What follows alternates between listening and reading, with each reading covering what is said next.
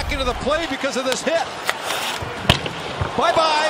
Why don't you just go right over the boards and then why don't you just throw them in while you're at it? Now you can't get back into the play. You don't have a chance. And that turns into a four-on-four situation. The Leafs on a change. And before you know it, a little break for Trevor Moore, and he gets rewarded for all his hard work tonight. He has been one of the better players on the ice for the Toronto Maple Leafs.